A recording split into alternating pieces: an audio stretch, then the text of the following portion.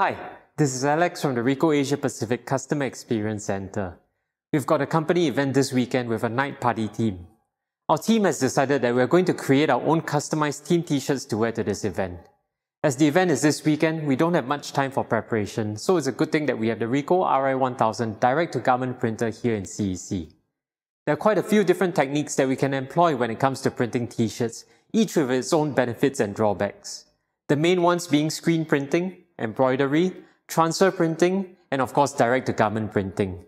The benefits of using direct-to-garment printing include a quick turnaround time, no minimum order quantity, customization, sharp and vibrant images, as well as support for a range of fabric type substrates.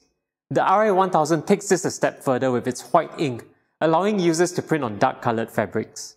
As such, it is the perfect machine for printers looking to add a print-on-demand solution to their current setup. However, it's not only the shirt printers that can benefit from the RI1000. We've seen souvenir shops and clothing retailers that are making use of direct-to-garment printing to bring in more business. As it's a night party event, we're going to be printing on dark colored shirts.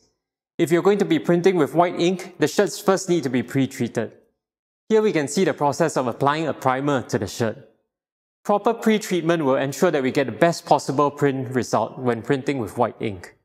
This is the image that we'll be printing onto the shirt. We've added the names of our team members for personalization. We check that our pre-treated shirts are dry and then load it up into the printer. From here, we go to ColorGate production server to print our job. We ensure that the settings are correct and make sure to use document transparency so that we don't end up printing a white border around the image.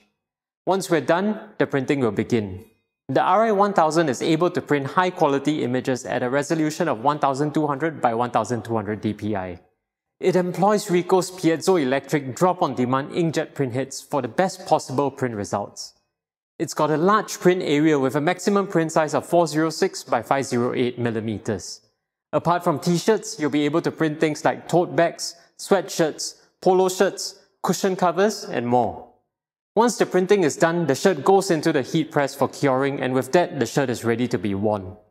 We started this print application series with a t-shirt, and I guess it's only fitting that we end this series with another t-shirt application. We've come to the end of the first season of the CEC Print Ideas series, but we'll definitely be coming back with more useful content. So look out for that and subscribe so that you'll be notified when new content drops. Well, that's all for today. I'll see you again soon.